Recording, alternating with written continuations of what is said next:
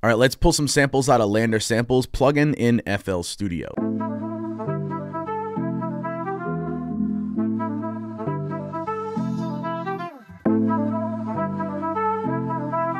So with a lot of samples, what I like to do is mess around in the playlist. Yeah, we can use different plugins like Slicer, SliceX, but the playlist is underrated when it comes to sampling. You can chop manually just by using the razor tool, or you can get a little bit of a cheat sheet if you click the little drop down in the sample, go to chop, and you have all these options for time based. So you don't really have to use that razor tool if you want. You can go bars, beats, half beats, or what I've been messing around with lately is going to patterns and going to drum and bass, one of these things right here, Moomba, breakdown type, and it chops it up in a way where it rearranges it in a sense of it, it, might take it in a place where you would never take it and you get ideas from that. So let's try drum and bass half beat.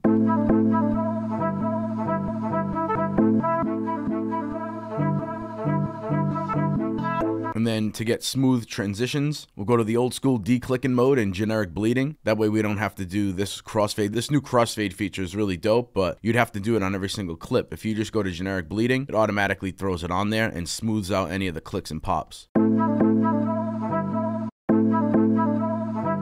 Let's slow the tempo down. All right, so I like this section up until about right there. I'm gonna take it down. I'm gonna mess with it just a little bit more. So this is a combination of doing it manually and using that chop feature, right? And for some reason, this sounds like this should be at the end to me, and this should start here. So do a little bit of rearranging like this.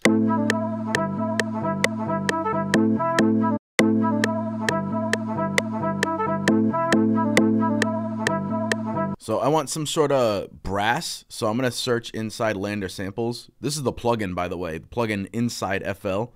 I'm to just type in brass. So back inside LANDR samples, I'm going to type in horn. I want some sort of horn. And we have the key set right now. It's at C major. It's already synced into the BPM, which is 134.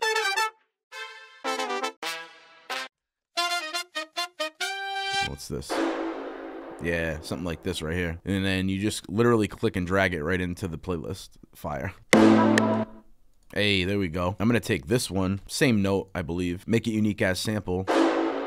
But I'm going to reverse this one. We get a nice reverse reverb out of it because that tail is just like perfect. And then we get a nice little loop on this section. Loop that up.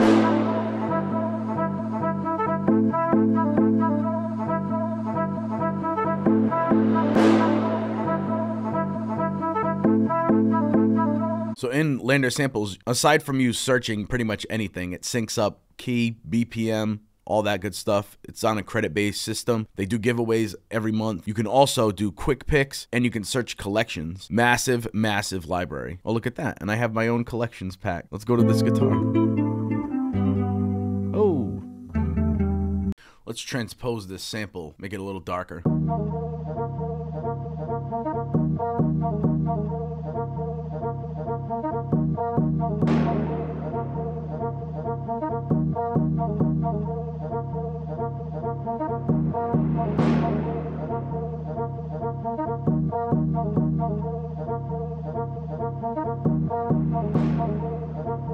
That way the 808 hits a little harder.